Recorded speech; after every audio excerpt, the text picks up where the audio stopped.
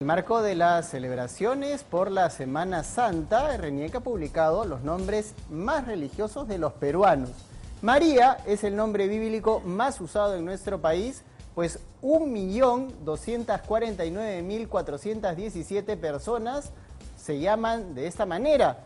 Le sigue Pedro con 192.383 y Gloria con 91.215. Además, 53 peruanos se llaman Judas y 31 se llaman Herodes. Aunque usted no lo crea, tres peruanos llevan el nombre de la Biblia y uno de Semana Santa. Ahí está precisamente la recopilación de nombres que ha hecho la RENIEC. Vemos María en primer lugar y también hay Jesús de Nazaret, vean ustedes.